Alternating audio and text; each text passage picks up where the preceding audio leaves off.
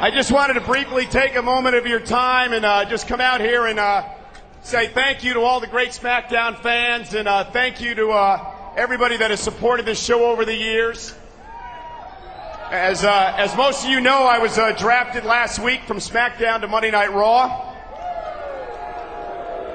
I know I'm not probably the most popular guy in the state of Oklahoma right now. But nonetheless, I would like to thank all of you for supporting this great show over the past nine years. It has been an unbelievable ride.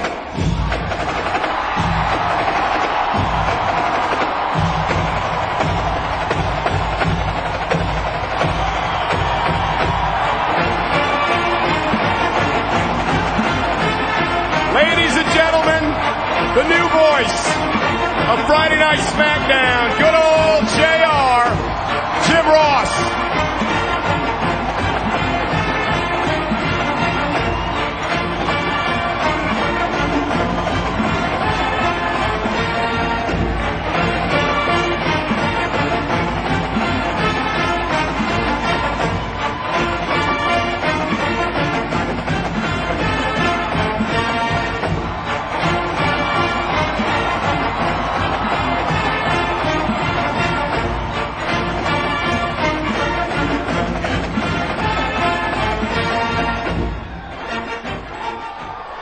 Well,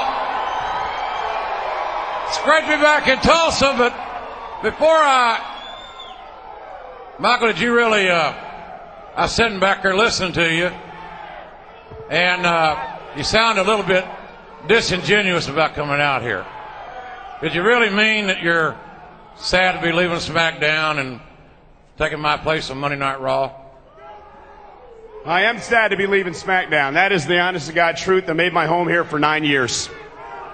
Did you uh, tell everybody here that you live deep in the heart of Texas and you're a Longhorn fan? Did, did you conveniently leave that out? I was just, just wondering, because when I go to Texas, I'm down proud that they know I'm a Sooner. Well, I am damn proud to let everybody know that I'm from the Lone Star State. Well, I think before we, some of my beer infused redneck friends from eastern Oklahoma get carried away, I'll make a suggestion to you. As your colleague, get your ass out of the ring and back to the back. Thank you very much.